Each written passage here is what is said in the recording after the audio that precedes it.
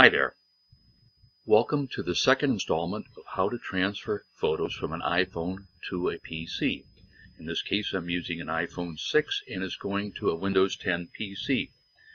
Simply plug in your data cable into your phone and into your laptop and one of several things can happen.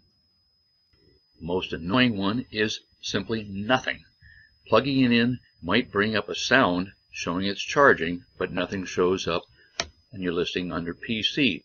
This can frequently happen when you're using an aftermarket charging cable. They're not really designed for data transfer.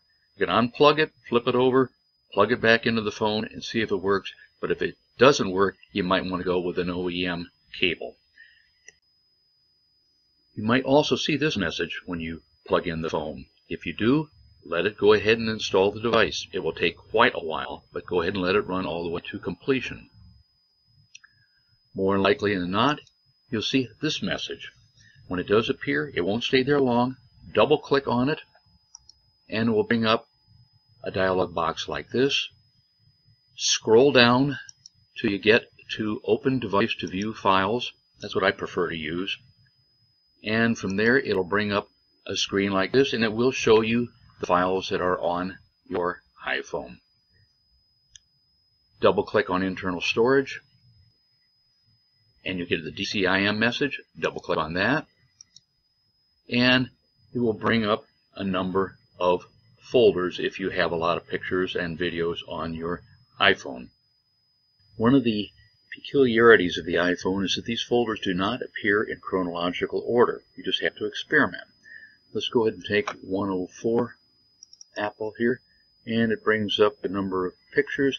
We can determine when these were taken by going to View, Details, click on Modified twice, there back, and the most recent of these was taken on February 7th, 2016. Now I've got a lot of other files in here too, uh, different types of image files. Let's go with just the JPEGs. And it brings those up. And now if we go back to View, extra large icons. You can see them in here. Let's go ahead and take, oh, quite a few of these, um, down to probably right here, and hit shift click. And that highlights quite a few of them. Let's say I don't want this one here because it looks to be a duplicate. I'm going to hit the control key, click again, and it deselects that. Now the rest of these in here I can copy to the clipboard, hit Control C.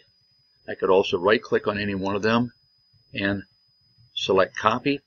And let's just go over to pictures and let's go ahead and create a new folder. The home screen, click new folder and we'll just call it demonstration. Enter. Enter and now I'm going to hit Control V and you'll see it brings in those 11 pictures. Let's go back to view, extra large icons, and you notice this particular one here is upside down. Let's right click on that, rotate right, rotate right again, and it's right side up now. And all these are saved in here. And that's really all there is to it. Follow these steps and you'll be able to transfer all your pictures from your iPhone to your PC.